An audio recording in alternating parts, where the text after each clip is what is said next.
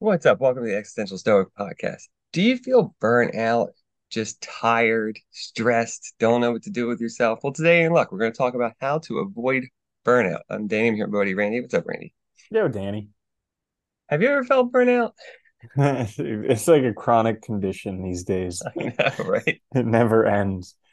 Like I remember, I remember back when uh I don't know, back before high school and stuff, before cell phones really came out, where like.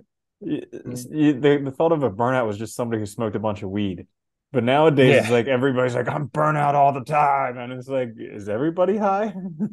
well, even in like, even in high school, I remember like meeting every day, play video games, somebody's house or something. Like, there's always downtime. You know, now mm-hmm. it's like when you get to adult life, it's just busy. You know, it mm-hmm. is. You're trying to make something of yourself. It's hard. Mm-hmm. When so, does it end? Hopefully, we can. Yeah, it doesn't end, right? we can help people. Not being very positive here about it, but that's all right. Um, so we each have a few tips help you with this. I'm gonna start. So my first one is move on when you're stuck. I, this actually, I've been doing this a lot more recently because I'm always doing more than one thing. Most of us are.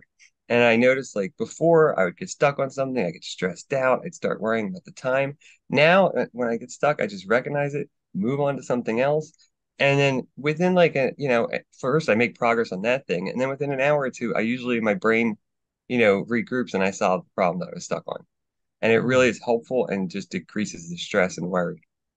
Yeah, that's awesome because when you move on, you kind of get out of that same mind space or wherever you are stuck, and then you can kind of go forward and. Yeah, like change. let your brain think differently, you know, because when you're stuck, your brain's like in it's like almost like in a loop, you know, you can't get out of it. So it does, it helps. Mm-hmm. Yeah, kind of uh kind of on the same thing, but more energetically, uh, to avoid burnout, go outside. This is my thing yeah. where I you know I never want to do it. When I'm burnt out, I just want to like keep my head down and plow through it, but it doesn't help. So I go outside knowing that I won't want to do it, but then when I get out there, I'm like, oh my goodness, totally necessary. Because there's just something about being outside where like the earth takes all that bad energy and just like dissipates it. And then you can almost slow down. Like there's just a nice quiet pace about nature and you can watch stuff out there and there's so much to like capture your senses, like the wind blowing through the leaves or some water moving or just like little insects or whatever it is. But it's just, it really does help avoid burnout. No, it does, dude. You're right. Like, I mean, we're human beings, we're animals, we're natural creatures, but we live in a world that's totally human made. And most of us, like most people, don't even go out in nature for days or months at a time. Like, you know, really, they're just in like a constructed world and when you go out there, you realize there's more than the human world. And if you think about it, I mean, really, it's only been since what, like the Industrial Revolution that we've lived like this. Before that, people were outside a lot more. So really, it's probably necessary. mm-hmm. And yeah. I mean, even in the last 50 years, 50 to 100 years, because before then, most people were farmers. So even though they may yeah. have had a house that they went to sleep in, they spent all day outside. Or even if you did another trade, it was probably in an open area. Uh-huh. You know, like, like it wasn't like in a closed box or cubicle or something. Yeah, it's a good one. My next one, and this is something I constantly try and remember, is good is better than perfect. Like, you just get it done. Don't stress about it being perfect. You know, you can always and then and you know, especially too, once you get one part, like one draft done or one thing, then you can go back and look at it again. So just knock it out, get it done, and move on. Don't stress about it. Mm. Yeah, that's awesome. Good is always better than perfect. And it's crazy how like when you're stuck working on it, you think that like, oh, it needs to be perfect. But then you get it done and like two weeks later you look back and you're like, it didn't matter at all. no, not even a little. yeah, it happens to me all the time. Uh my next one is do less. So this is something I've heard it said like when you're when you're totally like burnout, you're you spend you're just like you feel like you can't get enough done and there's not enough time in the day sit down and meditate or like just stop doing everything. Because it's yeah. it's one of those things where doing more isn't going to help you. It's just a problem that you have in terms of thinking that doing more will help you. And so if you actually stop and do less it'll allow you to kind of restructure your mind your priorities what's important because in the end in the end we're all headed to a graveyard or a little jar in a, as a, as a thing yeah. of ashes. And uh, yeah. yeah, at the end, so we're all going to die. The world's still going to turn without us. So this whole concept that we're so important, we need to get stuff done. Eh, whatever.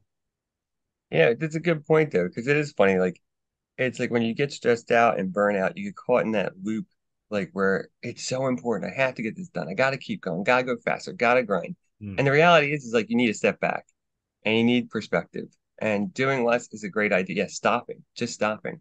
Sometimes you you know and sometimes we do. We need a weekend or a month sometimes to like regroup and like figure things out. Because when you keep going too a lot of times you just keep going down the wrong road. And i think doing less can be a great way also to figure out what you really want and what's really good for you. So that's a good one. Mm-hmm. like that. That actually goes well with my last one. Just focus on the journey like we get so caught up in ends and completing things and goals we forget that we're making daily progress and we're always moving towards the things we want if we really look at it. So, like, make self comparisons, look at your past and look at now and see how far you've come, but don't focus on the ends. Yeah. Yeah, that's a really good one. I was doing that just this morning. How like there's all these things that I've done that I take for granted. I'm like, yeah, but of course, I'm like trying. I'm trying to get out of my head where I'm like, look at all that I've accomplished. I'm like, yeah, but that was easy for me. Like I need to do these things that aren't easy for me. That was in the past, therefore it was easy. yeah. Which actually you really of... do. You forget all the pain, you oh know? Oh my god. Yeah. Exactly. That doesn't count because it's not what I want now. yeah.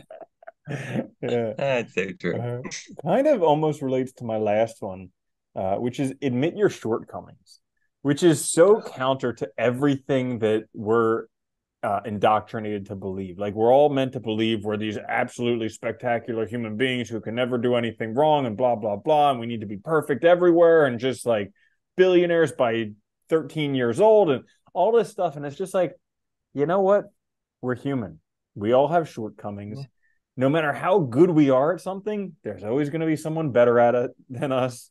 So like if you can actually admit your shortcomings, then you have a much better chance of just being okay with it and being like, hey, you know what? Maybe I'm just not good at that. And that's okay. You know what's nice about that too is admitting your shortcomings can also help you really see where you shine. Because, like, you know, we're all going to be good at some things and terrible at a bunch of things, you know, and that's fine. But sometimes admitting that helps you kind of focus on what you're good at and also seek help where you need it and, you know, not just out about it. I like that one. one.